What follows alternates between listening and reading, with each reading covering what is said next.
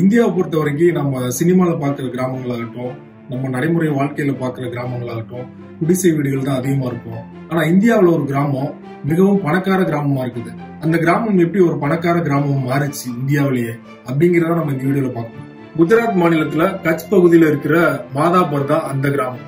அந்த கிராமத்துல கிட்டத்தட்ட எட்டாயிரத்துக்கும் கம்மியான குடியிருப்புகள் தான் இருக்குது. அந்த கிராமத்துல வாழ்ற ஒவ்வொரு மக்களுமே கிட்டத்தட்ட பதினஞ்சு லட்சம் ரூபாய் அவங்களோட வங்கி கணக்குல டெபாசிட் பண்ணிருக்காங்க.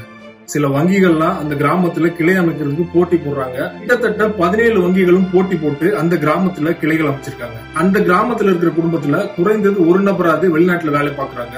அவங்களும் அவங்க சம்பாதிச்ச பணத்தை வெளிநாட்டுல உள்ள வங்கியில டெபாசிட் பண்ணாம என்ஆர்ஐ அக்கௌண்ட் மூலமா அவங்களோட சொந்த கிராமத்துல டெபாசிட் பண்றதும் ஒரு காரணம். அந்த என்ஆர்ஐ அக்கௌண்ட் மூலமா அவங்க கிட்டத்தட்ட ஐயாயிரம் கோடி ரூபாய்க்கு மேல டெபாசிட் பண்ணிருக்காங்க பெருநகரங்களே போட்டி போடுற அளவுக்கு சர்வதேச தரத்துல பள்ளிகள் கல்லூரிகள் மிகப்பெரிய கட்டடங்கள் உருவாகிருக்கு அந்த கிராமத்துல.